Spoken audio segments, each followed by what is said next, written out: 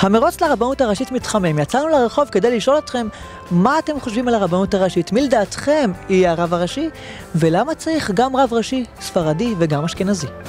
את יודעת מי המתמודדים לרבנות הראשית? לא, אין לי מושג. בכלל לא. הרב דוד יוסף, הרב בוארון, הרב רצון הרוסי אה, והרב שמואל אליהו. ואשכנזים? ואשכנזים, הרב דוד לאו, אה, הרב איגרא, הרב שפירא והרב סתיו. את מי היית רוצה להיות כרב ראשי?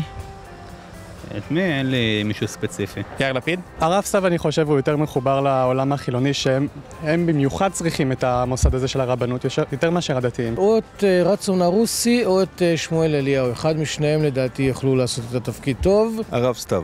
למה?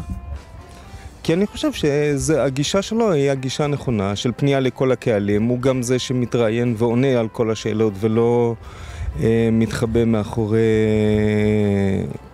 דעות, מחכה לשמוע מה יגידו הגדוילים, אלא הוא מחכה, הוא אומר מה שהוא חושב. אם הנושא הזה היה מובא לבחירת הציבור, אז אני מאמין שהציבור היה יודע במי לבחור. למה לדעתך צריך רב ספרדי או אשכנזי?